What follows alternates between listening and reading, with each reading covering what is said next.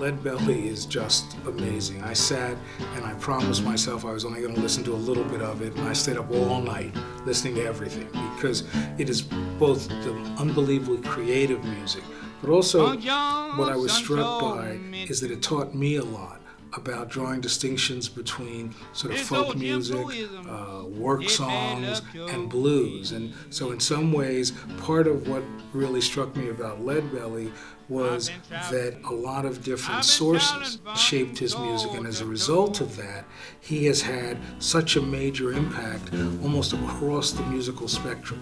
I think of you know all the musicians from you know the Beatles to the Stones to people doing hip hop who all talk about um, the power of Lead Belly, both as a performer, his ability to control that 12-string guitar, but also Lead Belly is really important as a historical figure because he really represents all those African Americans who get caught in that system, that transition from slavery to freedom, that he suffers under a system of sharecropping, um, but then he is arrested and involved in the prison system, which really in the early 20th century was viewed as an alternative to slavery.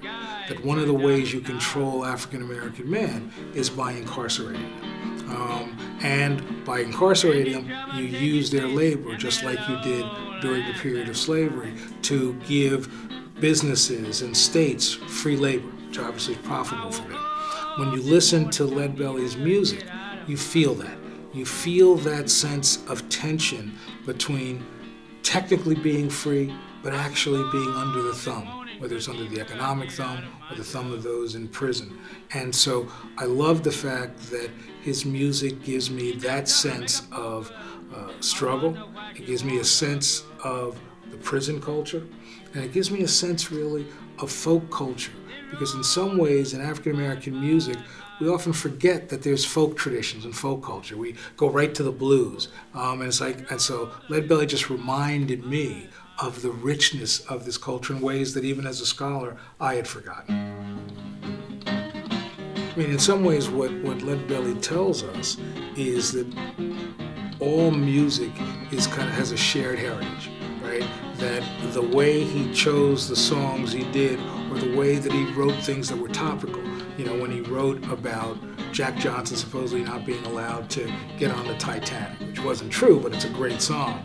Um, and you suddenly realize that, so while he talks from pain and struggle, he also talks from other people's pain and struggle. He looked around and said, what are other issues that we should be wrestling with that are important?